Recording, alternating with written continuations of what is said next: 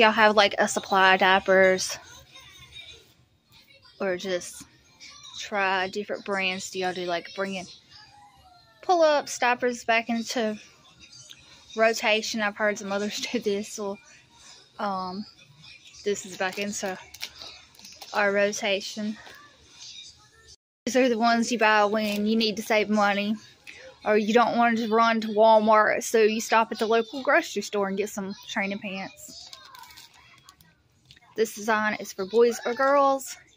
It has the left leg cup, help prevent leaks. I think this is the one that I shared that, like, the liner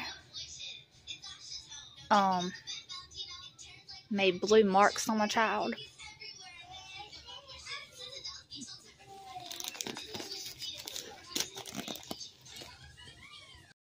A little update here. Since adding these back into our rotation of diapers, these are the best choice training pants that can be purchased at uh, your local grocery store. Those little monsters. Um, a previous video, I said that it looked like it was leaking blue stuff, and someone said that it's probably just the way that the tab, the wetness indicator is made. And I realized that it is true. It's just nothing but the wetness indicator. The way the line is, it just looks like it's leaks out. I grab another one and show y'all the wetness indicator. Okay, the wetness indicator is these little hearts and stars. And when they get wet, it just like turns into that. I previously thought like those it was like in fluids or colors or whatever, but it's just when it gets wet, it goes from looking like that to this.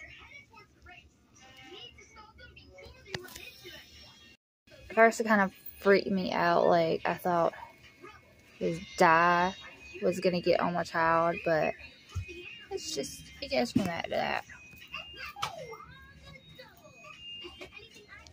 Here's what the back looks like. Um, the star. turn on flash. So the star here goes from star to that.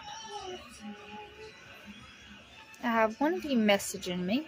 I'm gonna get off here and talk to the viewer who is messaging me. So, there these little stars. And before it gets very wet, you can see the star starts to fade like that. Sorry, nails are dirty. Before it gets completely soaked, you can see the stars start to fade out. And once they all fade, it makes a big green blob. So, the wetness indicator on this does work a little differently than the others because it's stars that are fading out instead of just a one strap line.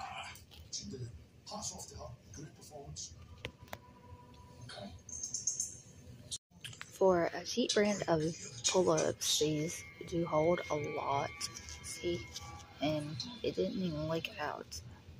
That's a lot. This one not. So yeah,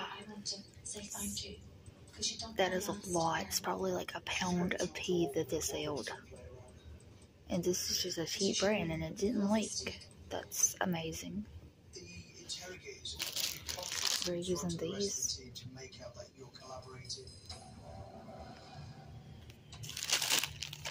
I want you to